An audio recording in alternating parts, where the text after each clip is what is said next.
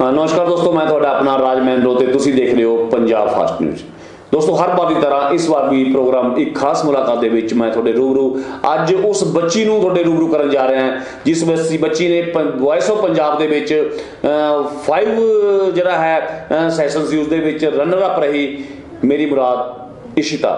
ਇਸ਼ਤਾ ਜੋ ਕਿ ਸਾਡੇ ਖੰਨੇ ਸ਼ਹਿਰ ਦੀ ਜੰਪਲ ਹੈ ਅੱਜ ਵਿਸ਼ੇਸ਼ ਤੌਰ ਤੇ ਸਾਡੇ ਸਟੂਡੀਓ ਵਿੱਚ ਪਹੁੰਚੀ ਹੈ। ਸਭ ਤੋਂ ਪਹਿਲਾਂ ਅਸੀਂ ਇਸ਼ਤਾ ਤੇਰਾ ਸਟੂਡੀਓ ਵਿੱਚ ਪਹੁੰਚਣ ਦੇ ਸਵਾਗਤ ਕਰਦੇ ਹਾਂ। ਸਤਿ ਸ਼੍ਰੀ ਅਕਾਲ। ਸਤਿ ਸ੍ਰੀ ਅਕਾਲ। ਇਸ਼ਤਾ ਅੱਜ ਆਪਾਂ ਗੱਲ ਕਰਦੇ ਹਾਂ ਤੇਰੇ ਪਿਛੋਕੜ ਬਾਰੇ ਹੈ ਨਾ। ਤੇਰੇ ਪੇਰੈਂਟਸ ਬਾਰੇ ਕਿ ਤੁਹਾਡੇ ਪੇਰੈਂਟਸ ਕੌਣ ਨੇ? ਕਿਵੇਂ ਤੁਹਾਨੂੰ ਜਿਹੜਾ ਹੈ ਸਿੰਗਿੰਗ ਦੇ ਵਿੱਚ ਆਉਣ ਦਾ ਸੁਭਾਅ ਪੈਦਾ ਹੋਇਆ? ਕਿੰਨਾ ਕੁ ਸ਼ੌਕ ਸੀ? ਕਦੋਂ ਹੈ ਨਾ ਸਭ ਤੋਂ ਪਹਿਲਾਂ ਤੁਸੀਂ ਆਪਣੇ ਪੇਰੈਂਟਸ ਬਾਰੇ ਦੱਸੋ ਕਿ ਤੁਹਾਡੇ ਪੇਰੈਂਟਸ ਦਾ ਕੀ ਨਾਮ ਹੈ?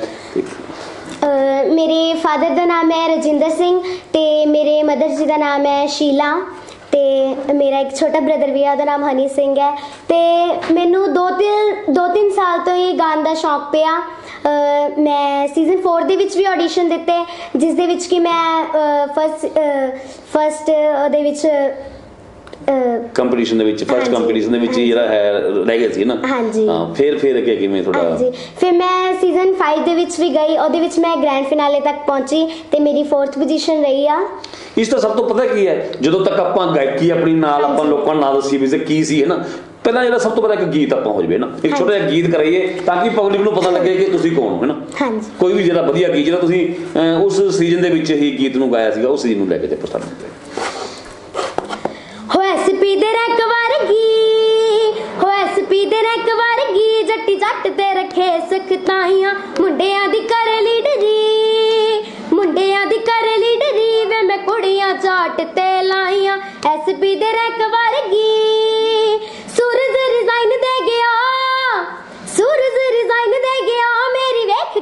ਕੇ ਫੁਲਕਾਰੀ।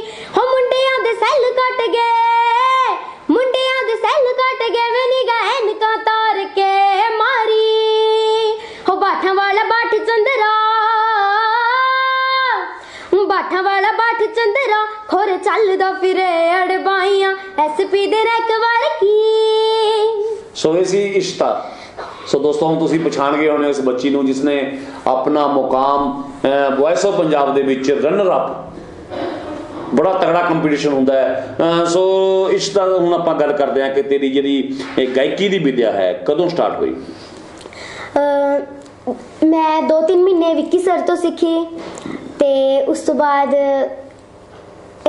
ਮਤਲਬ ਕਿ ਉਸ ਤੋਂ ਬਾਅਦ ਮੈਂ ਪ੍ਰਦੀਪ ਸਰ ਕੋਲ ਸਿੱਖੀ। ਅੱਜ ਵੀ ਮੈਨੂੰ ਮੇਰੇ ਮੰਮਾ ਪਾਪਾ ਇੰਨਾ ਸਪੋਰਟ ਕਰਦੇ ਆ, ਮੇਰੇ ਫਾਦਰ ਅੱਜ ਵੀ ਸਾਈਕਲ ਤੇ ਹੀ ਜਾਂਦੇ ਨੇ। ਮੈਨੂੰ ਇੰਨਾ ਪ੍ਰਾਊਡ ਫੀਲ ਹੁੰਦਾ ਆਪਣੇ ਪਾਪਾ ਤੇ। ਬੇਟਾ ਬਿਲਕੁਲ ਪੇਰੈਂਟਸ ਦੇ ਉੱਪਰ ਹੈ ਨਾ ਹੋਣਾ ਵੀ ਚਾਹੀਦਾ ਹੈ ਕਿਉਂਕਿ ਬੜੀ ਮਿਹਨਤ ਕਰਕੇ ਜਿਹੜੇ ਹੈ ਪੇਰੈਂਟਸ ਆਪਣੇ ਬੱਚਿਆਂ ਨੂੰ ਕਿਸੇ। ਮੁਕਾਮ ਤੇ ਲੈ ਕੇ ਆਉਂਦੇ ਹੈ ਨਾ ਗਰੀਬੀ ਮੇਰੀ ਕੋਈ ਚੀਜ਼ ਨਹੀਂ ਹੈ ਨਾ ਤੁਹਾਡੇ 'ਚ ਹੁਨਰ ਹੈ ਅੱਜ ਤੁਹਾਨੂੰ ਲੋਕ ਜਾਣ ਰਹੇ ਨੇ ਲੋਕ ਪਹਿਚਾਨ ਰਹੇ ਨੇ। ਸਿਰਫ ਇੱਕ ਕੰਮ ਹੋਊਗਾ ਕਿ ਅੱਜ ਲੋਕ ਇਸ਼ਦਾ ਦੇ ਨਾਮ ਤੇ ਤੁਹਾਡੇ ਪਾਪਾ ਨੂੰ ਜਾਣਨਗੇ।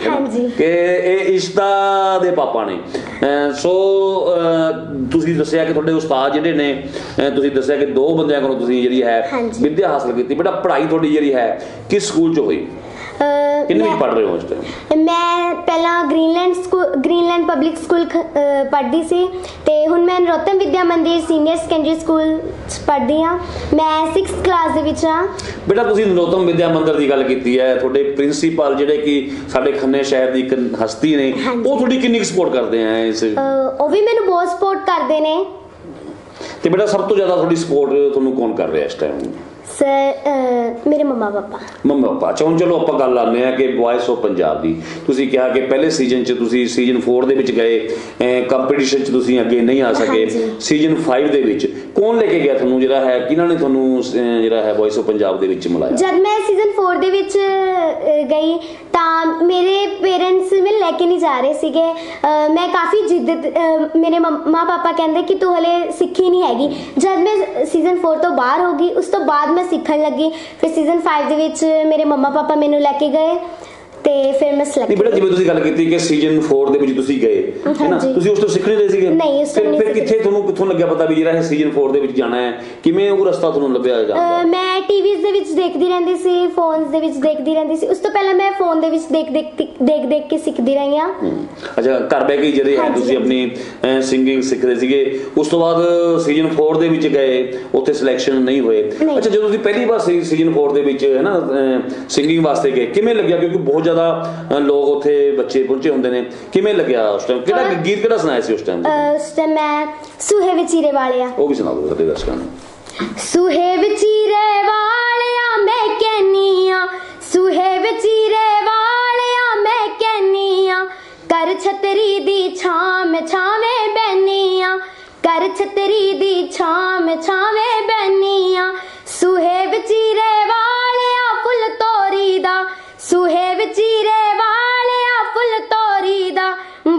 ਤੇਰੇ ਵੇ ਮਾਈਆ, ਕੁਝ ਨਹੀਂ ਲੋੜੀਦਾ। ਬਾਜ ਤੇਰੇ ਵੇ ਮਾਈਆ, ਕੁਝ ਨਹੀਂ ਲੋੜੀਦਾ। ਸੁਹੇ ਵਿਚੀਰੇ ਵਾਲਿਆ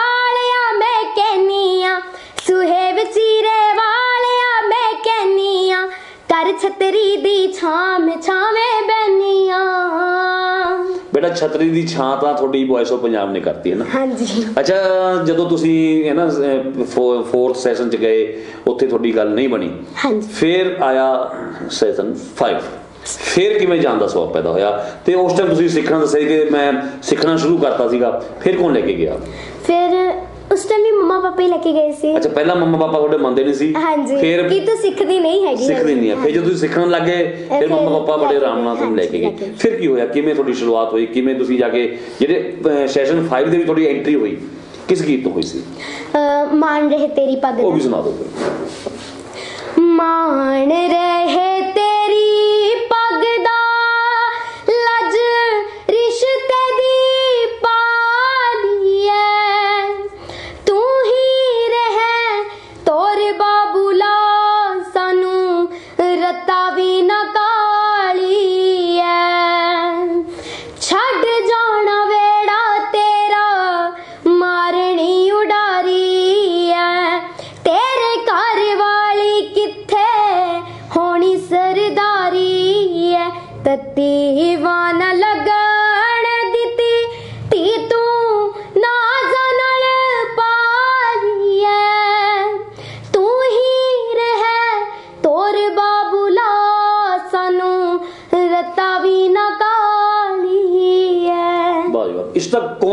ਤੁਹਾਡੇ ਗੀਤਾਂ ਦੀ ਸਿਲੈਕਸ਼ਨ ਜਿਹੜੇ ਹੈ ਇਹ ਗੀਤ ਜਦੋਂ ਤੁਸੀਂ ਉੱਥੇ ਗਾਇਆ ਇਹਦੀ ਸਿਲੈਕਸ਼ਨ ਕਿਹਨੇ ਕੀਤੀ ਸਭ ਤੋਂ ਪਹਿਲਾਂ? ਆਪਣੇ ਆਪ ਹੀ ਸੁਣ ਸੁਣ ਕੇ ਸੁਣਦਾ ਸੀ ਵੀ ਗੀਤ ਮੈਂ ਇਹ ਗਾਣਾ ਚਾਹੁੰਦੀ ਹੈ ਨਾ ਉੱਥੇ ਜਾ ਕੇ ਇਹ ਨਹੀਂ ਤੁਹਾਡੇ ਉਸਤਾਦ ਨੇ ਨਹੀਂ ਤੁਹਾਨੂੰ ਕਿਹਾ ਜਾਂ ਤੁਹਾਡੇ ਪੇਰੈਂਟਸ ਨੇ ਕਿਹਾ ਇਸ ਗੀਤ ਨੂੰ ਤੁਸੀਂ ਜਿਹੜਾ ਹੈ ਉੱਥੇ ਗਾਇਆ ਤੇ ਤੁਹਾਡੀ ਸਿਲੈਕਸ਼ਨ ਹੋਈ। ਸਿਲੈਕਸ਼ਨ ਹੋਣ ਤੋਂ ਬਾਅਦ ਜਦੋਂ ਪਹਿਲੀ ਐਂਟਰੀ ਤੁਸੀਂ ਸਟੇਜ ਤੇ ਕੀਤੀ ਹੈ ਨਾ ਇੱਕ ਨੀ ਆਡੀਅנס ਦੇ ਵਿੱਚ ਕੈਮਰਿਆਂ ਦੇ ਮੂਹਰੇ ਅੱਗੇ ਆਪਾਂ ਨੇ ਗੀਤ ਗਾਣਾ ਹੈ ਨਾ ਉਸ ਟਾਈਮ ਤੁਸੀਂ ਕਿਹੜਾ ਗੀਤ ਗਾਇਆ ਸਭ ਤੋਂ ਪਹਿਲਾਂ? ਤੂੰ ਤੇ ਮੇਰੀ ਅੱਖੀਆਂ ਦੀ ਨੀਂਦ ਚੁਰਾਈ। ਉਹ ਵੀ ਸੁਣਾ ਤੂੰ ਤੇ ਮੇਰੀ ਅੱਖੀਆਂ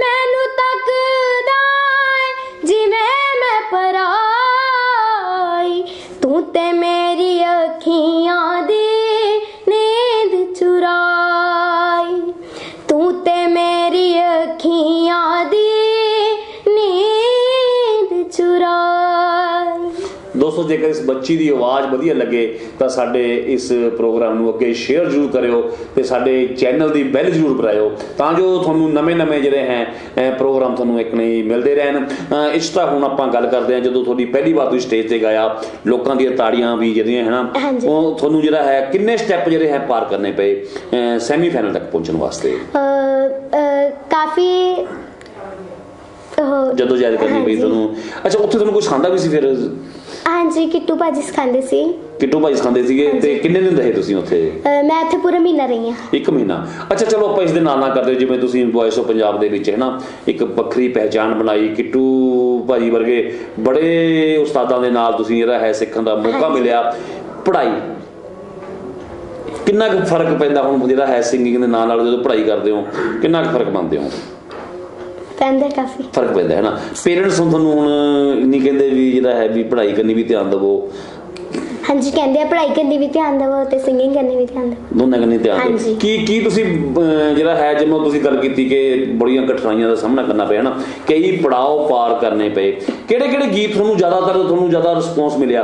ਤੁਹਾਡੇ ਕਿਹੜੇ ਕਿਹੜੇ ਗੀਤ ਸੀਗੇ ਜਿਹਦੇ ਕਿ ਤੁਹਾਡੇ ਉੱਥੇ ਦੇ ਬੈਠੇ ਜਿਹੜੇ ਕੋਚ ਸੀਗੇ ਅਹ, ਜਾਂ ਦਰਸ਼ਕ ਸੀਗੇ ਕਿਹੜੇ ਗੀਤ ਨੂੰ ਤੁਹਾਡੇ ਨੂੰ ਸਭ ਤੋਂ ਜ਼ਿਆਦਾ ਪਸੰਦ ਕੀਤਾ ਗਿਆ ਜਿਹਦੇ 'ਚ ਤੁਹਾਨੂੰ ਲੱਗਿਆ ਵੀ ਹਾਂ ਵੀ ਲੋਕਾਂ ਨੇ ਖੜੇ ਹੋ ਕੇ ਨਾ ਅਹ, ਜਿਹੜੇ ਜੱਜਸ ਬੈਠੇ ਸੀਗੇ ਉਹਨਾਂ ਨੇ ਤਾੜੀਆਂ ਮਾਰੀਆਂ ਕਿਹੜਾ ਗੀਤ ਸੀ ਉਹ? ਅਹ ਇੱਕ ਤਾਂ ਹੀ ਸੀ ਤੂੰ ਤੇ ਮੇਰੀ ਅੱਖੀਆਂ ਨੀਂਦ ਚੁਰਾਈ ਪਹਿਲੀ ਪਰਫਾਰਮੈਂਸ 'ਚ ਮੈਨੂੰ ਸਟੈਂਡਿੰਗ ਓਵੇਸ਼ਨ ਮਿਲੀ ਜੱਜਿਸ ਤੋਂ ਤੇ ਸੈਮੀਫਾਈਨਲ ਤੱਕ ਮੈਨੂੰ ਸਟੈਂਡਿੰਗ ਓਵੇਸ਼ਨ ਹੀ ਮਿਲਦੀ ਰਹਿੰਦੀ ਸੀ। ਕਿਹੜੇ ਕਿਹੜੇ ਪਸੰਦੀਦਾ ਗੀਤ ਸੀ ਤੁਹਾਡੇ? ਜਿਹੜੇ ਤੁਸੀਂ ਉਸ ਸੈਮੀਫਾਈਨਲ ਦੇ ਵਿੱਚ ਗਾਏ ਉਹਦੀ ਵੀ ਜਿਹੜੀਆਂ ਹੈ ਸਥਾਈ ਕੁਝ ਕੁਝ ਜਿਹੜੇ ਹੈ। ਹੋ ਪਹੁੰਚਿਆ ਤੋਂ ਤੰਗ ਸਲਵਾਰ ਫਿੱਟ ਸੂਟ ਫੈਸ਼ਨਾਂ ਦੀ ਪੱਟੀ ਦੇ। ਤੋਂ ਸ਼ਕੀਨ ਜੱਟੀ ਦੇ। ਹਾਂ ਅੱਖੀਆਂ ਵੀ ਸੁਰ ਮੇ ਨਾ ਰਹਿਣ ਡੱਕੀਆਂ। ਨਖਰਾ ਕਰਾਉਂਦਾ ਪੂਰੀ ਅੱਤ ਮੁੰਡਿਆ।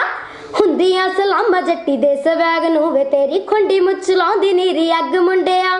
ਹੁੰਦੀਆਂ ਸਲਾਮਾ ਜੱਟੀ ਦੇ ਸਵੈਗ ਨੂੰ ਵੇ ਤੇਰੀ ਖੁੰਡੀ ਮੁੱਚ ਲਾਉਂਦੀ ਨੀਰੀ ਅੱਗ ਮੁੰਡਿਆ। ਨੈਕਸਟ ਹੋ ਲਾਜ ਮੇਰੀ ਪਤ ਰੱਖੀਆਂ ਭਲਾ ਝੂਲੇ ਲਾਲਣ। ਸਿੰਦੜੀ ਦਾ, ਸੇਵਣ ਦਾ, ਸਿੰਦੜੀ ਦਾ, ਸੇਵਣ ਦਾ ਸਖੀਸ਼ਾ ਬਾਜ਼ ਕਲੰਦਰ, ਦਮਾਦਮ ਮਸਤ ਕਲੰਦਰ। ਅਲੀ ਦਾ ਪਹਿਲਾ ਨੰਬਰ, ਅਲੀ ਦਮ ਦਮ ਦੇ ਅੰਦਰ, ਦਮਾਦਮ ਮਸਤ ਕਲੰਦਰ। ਓ ਲਾਲ ਮੇਰੀ ਹੋ ਲਾਲ ਮੇਰੀ ਚਾਰ ਚਿਰਾਗ ਤੇਰੇ ਬਲਣ ਹਮੇਸ਼ਾ ਚਾਰ ਚਿਰਾਗ ਤੇਰੇ ਬਲਣ ਹਮੇਸ਼ਾ ਪੰਜਵਾਂ ਮੈਂ ਬਾਲਣ ਆਈਓ ਭਲਾ ਝੂਲੇ ਲਾਲਣ ਪੰਜਵਾਂ ਮੈਂ ਬਾਲਣ ਪੰਜਵਾਂ ਮੈਂ ਬਾਲਣ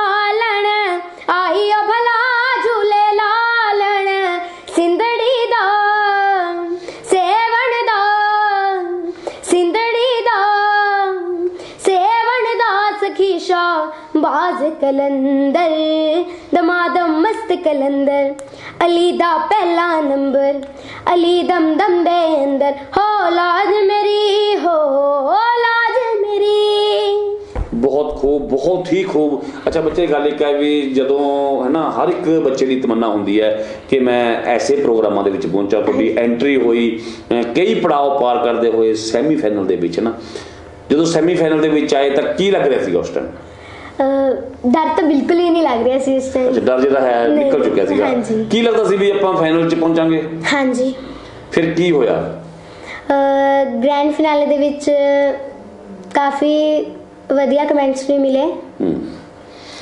ਕਿੰਨੇ ਕੁ ਬੱਚੇ ਸੀ ਉਸ ਟਾਈਮ ਤੁਸੀਂ ਫਾਈਨਲ ਹੈ ਅਹ, five। 5 ਬੱਚੇ ਸੀ। ਹਾਂਜੀ। ਅਹ, ਕਾਹਦੇ ਪਿੱਛੇ ਰਹੇ? ਕ- ਲੱਗ ਰਿਹਾ ਸੀ ਕਿ ਉਹ ਬਹੁਤ ਜ਼ਿਆਦਾ ਹੈਵੀ ਸੀ ਜਾਂ ਬੱਚੇ ਕੀ ਸੀਗਾ? ਕਾਤੇ ਤੁਹਾਨੂੰ ਲੱਗਿਆ ਵੀ ਮੈਂ ਉਹ ਮੁਕਾਮ ਜਿਹੜੀ ਹੈ ਉਹ ਟਾਰਗੇਟ ਹਾਸਲ ਨਹੀਂ ਕਰ ਸਕੇ? ਸੁਰ ਦੀ ਪ੍ਰੋਬਲਮ ਸੁਰਾਂ ਦੀ ਹੈ ਕੁਝ ਪ੍ਰੋਬਲਮ। ਮਤਲਬ ਇਹ ਵੀ ਮੰਨ ਸਕਦੇ ਹੋ ਕਿ ਉਹ ਬੱਚੇ ਬਹੁਤ ਜ਼ਿਆਦਾ ਸਟਾਰਟਿੰਗ ਤੋਂ ਸਿੱਖੇ ਹੋ ਸੀ। ਤੁਸੀਂ ਕੁਝ ਸਮਾਂ ਪਹਿਲਾਂ। ਸਿੱਖਾਂ ਕੇ ਜਿਹੜਾ ਹੈ ਇਸੇ ਚੀਜ਼ ਨੂੰ। ਅੱਛਾ ਕੀ ਕੀ ਜ਼ਿੰਦਗੀ 'ਚ ਕੀ ਕਰਨਾ ਚਾਹੁੰਦੇ ਹੋ? ਤੁਹਾਡਾ ਏਮ ਕੀ ਹੈ ਜ਼ਿੰਦਗੀ ਦੇ ਵਿੱਚ? ਮੇਰਾ ਏਮ ਹੈ ਕਿ ਮੈਂ ਬੜੀ ਹੋ ਕੇ ਪਲੇਬੈਕ ਸਿੰਗਰ ਬਣਾ। Playback singer. ਬਣਨ ਦਾ ਜਿਹੜਾ ਹੈ ਤੁਹਾਡਾ ਟੀਚਾ ਵੀ ਹੈ ਟਾਰਗੇਟ ਵੀ ਤੁਹਾਡਾ ਜਿਹੜਾ ਹੈ ਪਲੇਬੈਕ ਸਿੰਗਰ ਬਣਨ ਦਾ ਹੈ। ਅੱਛਾ ਬਹੁਤ ਛੋਟੀ ਉਮਰ ਹੈ ਹੈ ਨਾ। ਬਹੁਤ ਛੋਟੀ ਉਮਰ ਹੈ ਇਸ ਦੇ ਨਾਲ ਨਾਲ ਪੜ੍ਹਾਈ ਵੀ ਜ਼ਿੰਦਗੀ ਦੇ ਵਿੱਚ।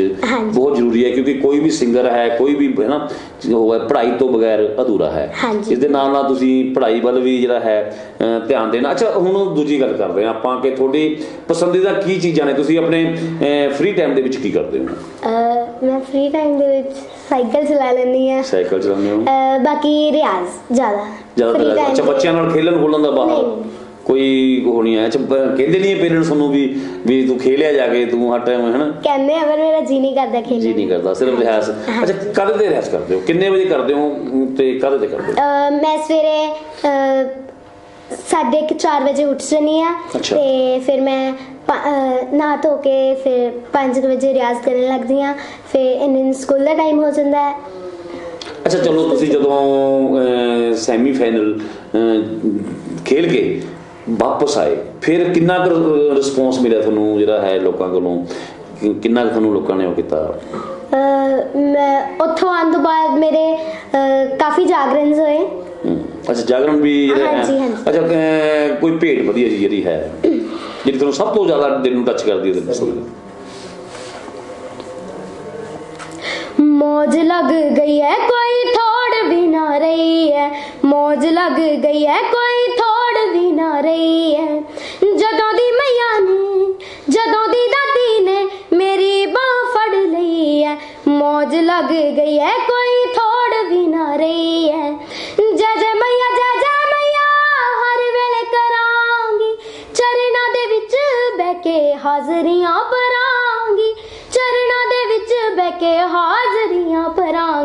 ਖੁਸ਼ੀ ਤੇ ਸਲੀਮ ਨੇ ਮਾਂ ਪੇਟੇ ਹੋ ਗਈ ਹੈ ਖੁਸ਼ੀ ਤੇ ਸਲੀਮ ਨੇ ਮਾਂ ਪੇਟੇ ਹੋ ਗਈ ਹੈ ਜਦੋਂ ਦੀ ਮਈਆ ਨੇ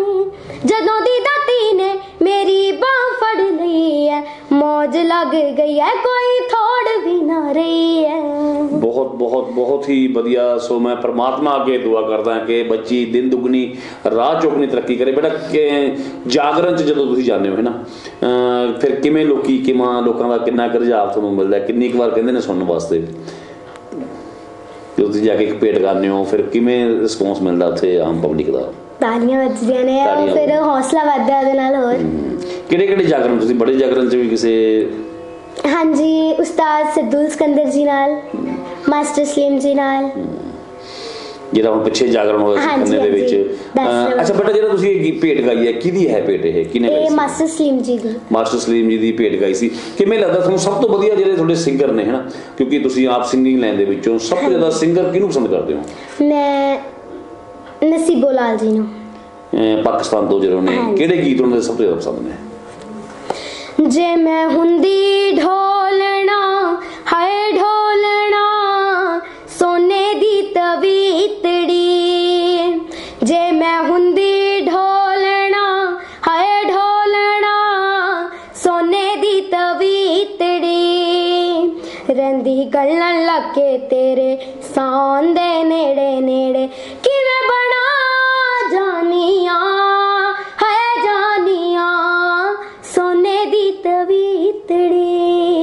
ਕਦੋਂ ਸੁਣਿਆ ਤੁਸੀਂ? ਇਹਨੂੰ ਜਿਹੜਾ ਹੈ ਘਰ ਤੋਂ ਸੁਣਨਾ ਸ਼ੁਰੂ ਕੀਤਾ ਸੀ।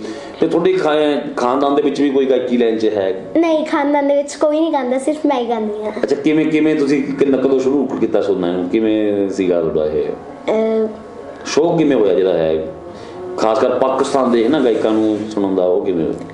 ਬਸ ਟੀਵੀਜ਼ ਦੇ ਵਿੱਚ ਕਦੇ ਕਦੇ ਗਾਣਾ ਚੱਲ ਪੈਂਦਾ ਸੀ ਫਿਰ ਮੈਂ ਉਹਨਾਂ ਨੂੰ ਹੀ ਜ਼ਿਆਦਾ ਫੋਲੋ ਕਰਨ ਲੱਗ ਗਈ। ਟੱਚ ਲੱਗਦਾ ਸੀ ਜਿਹੜਾ ਗੀਤ ਵੀ ਵਧੀਆ ਲੱਗਦਾ ਕਿਉਂਕਿ ਅੱਜ ਦੇ ਜਿਹੜੇ ਬੱਚੇ ਨੇ ਉਹ ਵੈਸਟਰਨ ਨੂੰ ਜ਼ਿਆਦਾ ਪਸੰਦ ਕਰਦੇ ਹਨ? ਵੈਸਟਰਨ ਗੀਤ ਵੀ ਤੁਸੀਂ ਪਸੰਦ ਕਰਦੇ ਹੋ? ਥੋੜੇ ਬਹੁਤ। ਕਿਹੜੇ ਗੀਤ ਨੂੰ ਸਭ ਤੋਂ ਪਸੰਦ ਕਰਦੇ ਹੋ? ਕਿਹੜਾ ਤੁਹਾਨੂੰ ਲੱਗਦਾ ਵੀ ਇਹ ਗੀਤ ਵਧੀਆ ਮੇਰੇ ਟੱਚ ਦੇ ਵਿੱਚ ਹੈ?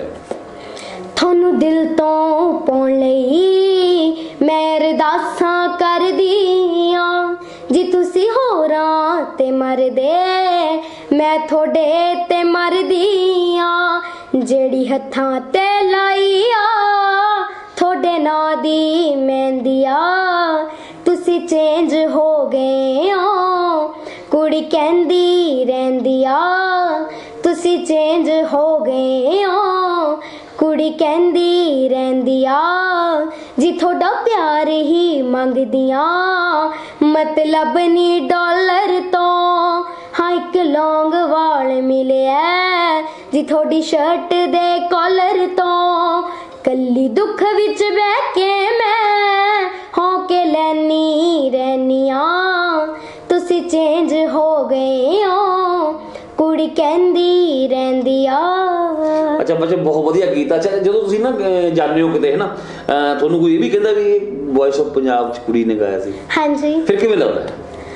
ਫਿਰ ਮੈਨੂੰ ਬਹੁਤ ਖੁਸ਼ੀ ਹੁੰਦੀ ਹੈ ਇੱਕ ਤਾਂ ਮੈਨੂੰ ਉਥੋਂ ਕਾਫੀ ਪਹਿਚਾਨ ਹੈ ਮੇਰੀ। ਅੱਛਾ ਆਟੋਗ੍ਰਾਫ ਵੀ ਆ ਕਦੇ? ਹਾਂਜੀ, ਹਾਂਜੀ। ਆਟੋਗ੍ਰਾਫ ਬੱਚੇ ਦੇ ਹੈ ਨਾ? ਅੱਛਾ ਜਦੋਂ ਤੁਸੀਂ। ਹਾਂ ਜਦੋਂ ਤੁਸੀਂ ਕਿਸੇ ਕੋਲੋਂ ਮੰਗਦੇ ਸੀ ਨਾ? ਅੱਜ ਤੁਸੀਂ ਆਪ ਆਟੋਗ੍ਰਾਫ ਦੇ ਰਹੇ ਅੱਜ ਮੇਰੇ ਤੋਂ ਕੋਈ autograph- ਆਟੋਗ੍ਰਾਫ ਮੇਰੇ ਹੈ ਅੱਛਾ ਕ- ਤੁਸੀਂ ਗੱਲ ਨਾ ਸਦੂਰ ਭਾਜੀ ਦੀ ਗੱਲ ਕੀਤੀ ਸੀ ਨਾ। ਵੀ ਤੁਸੀਂ ਸਦੂਰ ਭਾਜੀ ਦੇ ਨਾਲ ਗੀਤ ਗਾਇਆ ਕਿਉਂਕਿ ਸਾਡੇ ਖੰਨੇ ਦੇ ਤਾਜ ਨੇ ਉਹ ਨਾ? ਮਾਣ ਹੈ ਸਾਡੀ ਸਿੰਗਿੰਗ ਦੇ ਵਿੱਚ। ਉਹਨਾਂ ਦੇ ਗੀਤ ਵੀ ਕਦੇ ਤੁਸੀਂ ਗੁੰਗਣਾਏ ਨੇ? ਨਹੀਂ। ਅੱਛਾ ਕਦੇ ਗੀਤ ਨਹੀਂ ਗੁੰਗਣਾਇਆ ਅੱਛਾ ਖੰਨੇ ਸ਼ਹਿਰ ਨੇ ਹੋਰ ਬਹੁਤ ਜ਼ਿਆਦਾ ਕਲਾਕਾਰ ਦਿੱਤੇ ਨੇ ਨਾ। ਤੁਸੀਂ ਵੀ ਇੱਕ ਉਸ ਕੜੀ ਦੇ ਵਿੱਚ ਜਿਹੜੇ ਹੈ ਕਈ ਵੌਇਸ ਆਫ ਪੰਜਾਬ ਦੇ ਵਿੱਚ ਵੀ ਸਾਡੇ ਬੱਚੇ ਜਿਹੜੇ ਹੈ ਆਏ। ਤੇ ਹੁਣ ਤੁਹਾਡੇ ਅੱਗੇ ਕੀ ਫਰਦਰ ਕੀ ਹੈ ਕਰਨ ਦਾ? ਕਿ ਸਿੰਗਿੰਗ ਸਿੱਖਣ ਦਾ ਕਿਹਦੇ ਕੋਲੋਂ ਸਿੱਖਣ ਦਾ ਹੈ? ਵੀ ਹੁਣ ਤੁਸੀਂ ਅੱਗੇ ਵਧਣ ਵਾਸਤੇ ਸਿੰਗਿੰਗ ਸਿੱਖਣਾ ਬਹੁਤ। ਜ਼ਰੂਰੀ ਹੈ ਨਾ। ਫਿਰ ਅੱਗੇ ਹੁਣ ਤੁਹਾਡਾ ਕੀ ਵਿਚਾਰ ਹੈ?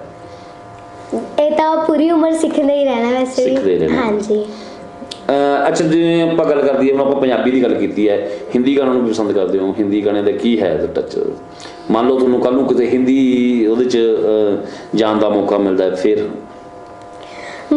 ਬਾਲੀਵੁੱਡ ਪੰਜਾਬੀ ਜਿਵੇਂ ਬਾਲੀਵੁੱਡ ਦੇ ਵਿੱਚ ਹਾਲੀਵੁੱਡ ਦੇ ਵਿੱਚ ਜਾਂ ਹੈ। ਨਾ ਆਪਾਂ ਸਿੰਗਿੰਗ ਹਿੰਦੀ ਗੀਤ ਗਾਉਣ ਦਾ ਹੋਵੇ ਹਿੰਦੀ ਨੂੰ ਵੀ ਕਦੇ ਤੁਸੀਂ ਗੁੰਗਣਾਇਆ ਹੈ? ਥੋੜਾ ਬਹੁਤ। ਕਿਸ ਗੀਤ ਨੂੰ ਜ਼ਿਆਦਾ ਤੁਸੀਂ ਪਸੰਦ ਕਰਦੇ ਹੋ? ਮੈਂ ਤੈਨੂੰ ਸਮਝਾਵਾਂਗੀ। ਸੁਣਾ ਮੈਂ ਤੈਨੂੰ ਸਮਝਾਵਾਂ ਕਿ ਨਾ ਤੇਰੇ ਬਿਨਾ ਲੱਗਦਾ ਜੀ। ਤੂੰ ਕੀ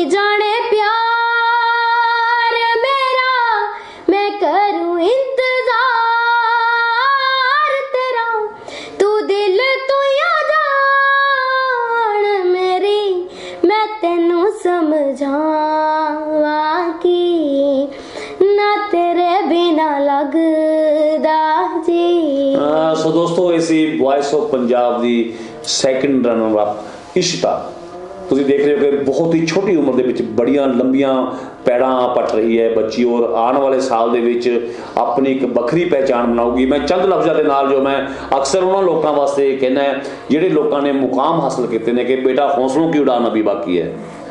हौसलों की उड़ान अभी बाकी है मंजिलों की तलाश अभी बाकी है अभी तो नापी है इस बच्ची ने मुट्ठी भर जमीन सारा आसमान अभी बाकी है सारा आसमान अभी बाकी है सो दोस्तों ਅਗਲੀ ਵਾਰ ਫਿਰ ਕਿਸੇ ਨਵੇਂ ਕਲਾਕਾਰ ਦੇ ਨਾਲ ਤੁਹਾਡੇ ਰੂਬਰੂ ਹੋਵਾਂਗੇ ਪ੍ਰੋਗਰਾਮ ਇੱਕ ਖਾਸ ਮੁਲਾਕਾਤ ਦੇ ਵਿੱਚ ਕਿਉਂਕਿ ਸਮਾਂ ਆਜ਼ਾਦ ਨਹੀਂ ਦਿੰਦਾ, ਗੱਲਾਂ ਬਹੁਤ ਕਰਨ ਨੂੰ ਬਹੁਤ ਤਿੱਖੀ ਕੁੜੀ ਹੈ। ਮੈਂ ਤਿੱਖੀ ਮਿਰਚ ਦੀ ਗੱਲ ਕਰ ਸਕਦਾ ਕਿ ਤਿੱਖੀ ਮਿਰਚ ਹੈ। ਕਿਉਂਕਿ ਬਿਲਕੁਲ ਮੇਰੇ ਹਰ ਇੱਕ ਜਵਾਬ, ਜਿਹੜਾ ਸਵਾਲ ਦਾ ਜਵਾਬ ਲਗਾਤਾਰ ਦੇ ਰਹੀ ਸੀ, ਸੋ ਜੇਕਰ ਬੱਚਿਓ, ਜੇਕਰ ਦੋਸਤੋ, ਤੁਹਾਡੀ, ਤੁਹਾਨੂੰ ਪਸੰਦ ਆਈ ਹੋਵੇ ਇਹਦੀ ਆਵਾਜ਼, ਇਹਦੀ ਗੱਲਬਾਤ ਕਰਨ ਦਾ ਸਟਾਈਲ, ਤਾਂ ਸਾਡੇ ਇਸ ਪ੍ਰੋਗਰਾਮ ਨੂੰ ਅੱਗੇ ਸ਼ੇਅਰ ਜ਼ਰੂਰ ਕਰਿਓ। ਤੁਹਾਡਾ ਇੱਕ ਸ਼ੇਅਰ ਇਸ ਬੱਚੀ ਨੂੰ ਕਿਤੇ ਨਾ ਕਿਤੇ ਲੈ ਕੇ ਜਾ ਸਕਦਾ ਹੈ। ਸੋ ਜਿਹੜਾ ਹੈ ਬਹੁਤ ਕੁਝ ਗੱਲਾਂ ਸਾਂਝੀਆਂ ਕੀਤੀਆਂ ਨੇ। ਸੋ ਅਸੀਂ ਹੁਣ ਜਿਹੜਾ ਹੈ ਲਾਸਟ ਦੇ ਵਿੱਚ ਤੁਸੀਂ ਕੀ ਸੰਦੇਸ਼ ਦੇਣਾ ਚਾਹੁੰਦੇ ਹੋ ਆਪਣੇ ਦਰਸ਼ਕਾਂ ਨੂੰ? ਕੀ ਕਹਿਣਾ ਚਾਹੁੰਦੇ ਹੋ ਦਰਸ਼ਕਾਂ ਨੂੰ? ਮੈਂ ਆਈ ਕਹਿਣਾ ਚਾਹੁੰਦੀ ਹਾਂ ਕਿ ਮੈਨੂੰ ਪਲੀਜ਼ ਵੱਧ ਤੋਂ ਵੱਧ ਸਪੋਰਟ ਕਰਨ। ਸੋ ਦੋਸਤੋ ਇਹ ਅਪੀਲ ਹੈ ਇਸ ਛੋਟੀ ਜੀ ਬੱਚੀ ਦੀ ਇਸ਼ਤਾ ਦੀ ਕਿ ਸਪੋਰਟ ਕਰੋ ਸ਼ੇਅਰ ਕਰੋ। ਜੇਕਰ ਤੁਹਾਡੇ ਆਪਣੇ ਇਲਾਕੇ ਦੇ ਵਿੱਚ ਕੋਈ ਜਾਗਰਣ ਹੁੰਦਾ ਹੈ ਤਾਂ ਇਸ ਬੱਚੀ ਨੂੰ ਜਾਗਰਣ ਦੇ ਵਿੱਚ ਮੌਕਾ ਦਿਓ, ਜਰੂਰ ਦਿਓ। ਜੇਕਰ ਕੋਈ ਸੱਭਿਆਚਾਰਕ ਪ੍ਰੋਗਰਾਮ ਹੁੰਦਾ ਹੈ, ਉਸ ਸੱਭਿਆਚਾਰਕ ਪ੍ਰੋਗਰਾਮ ਦੇ ਵਿੱਚ ਵੀ ਇਸ ਬੱਚੀ ਨੂੰ ਮੌਕਾ ਜਰੂਰ ਦਿਓ। ਮੈਂ ਇਸ ਦਾ ਮੋਬਾਈਲ ਨੰਬਰ, ਇਸ ਦੀ ਹੀ ਜਵਾਨੀ ਜਿਹੜਾ ਹੈ, ਸੁਣਨਾ ਚਾਹੁੰਦਾ ਹੈ ਤੇ ਸਾਡੇ ਸਕਰੀਨ ਦੇ ਥੱਲੇ ਜਿਹੜਾ ਹੈ, ਇਸ ਦਾ ਨੰਬਰ ਵੀ ਜਰੂਰ ਚੱਲੇਗਾ। ਤਾਂ ਜੋ ਤੁਸੀਂ ਇਸ ਬੱਚੀ ਨਾਲ ਸੰਪਰਕ ਕਰ ਸਕੋ, ਕਿਉਂਕਿ ਸਾਡਾ ਜੋ ਫਰਜ਼ ਹੈ, ਸਾਡੇ ਇਸ ਪ੍ਰੋਗਰਾਮ ਇੱਕ ਖਾਸ ਮੁਲਾਕਾਤ ਦੇ ਵਿੱਚ ਹਰ ਵਾਰ ਅਸੀਂ ਤੁਹਾਡੇ ਰੂਬਰੂ ਕਿਸੇ ਨਾ ਕਿਸੇ